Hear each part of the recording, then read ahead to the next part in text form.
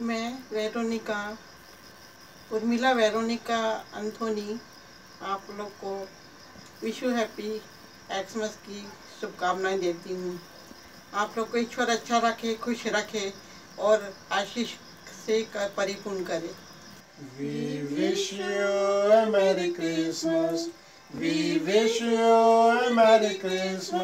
We wish you a Merry Christmas.